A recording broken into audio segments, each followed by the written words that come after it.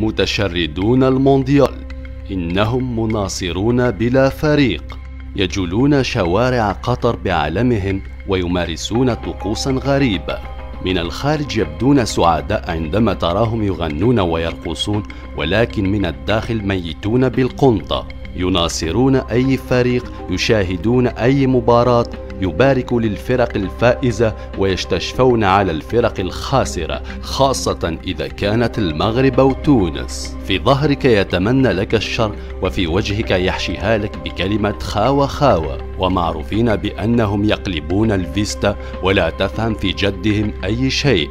حضورهم في المونديال مثل الخضرة فوق الطعام. هناك من ذهب للتهريج وهناك من ذهب ليلتقط الصور والفيديوهات مع الجناس من أجل التيك توك. ويقولون أن هناك من ذهب خصيصا من أجل البحث عن قصامة. إنهم مثيرون للشفقة. ما زال عندهم إسبوار بأن الماتش يتعاود.